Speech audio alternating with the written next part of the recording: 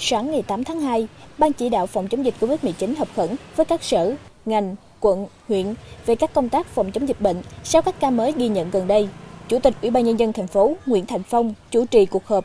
Tại cuộc họp, ông Nguyễn Trí Dũng, Giám đốc Trung tâm Kiểm soát bệnh tật thành phố Hồ Chí Minh cho biết, ngoài 4 ca mắc do Bộ Y tế công bố sáng nay, ngày 8 tháng 2, thành phố xác định thêm 24 trường hợp dương tính lần 1 với COVID-19. Tất cả các trường hợp được xác định dương tính đã được chuyển đến khu cách ly tập trung. Hiện Trung tâm Kiểm soát bệnh tật thành phố Hồ Chí Minh đang tiếp tục điều tra truy vết những người tiếp xúc. Bước đầu ghi nhận một số trường hợp dương tính nêu trên có tiếp xúc với nhóm nghi nhiễm ngày 7 tháng 2. Nhiều điểm trên địa bàn thành phố đang được phong tỏa, cách ly. Chủ tịch Ủy ban nhân dân thành phố Nguyễn Thành Phong đề nghị các điểm phong tỏa kiểm soát chặt chẽ, tuyệt đối không để người dân ra vào khu vực phong tỏa.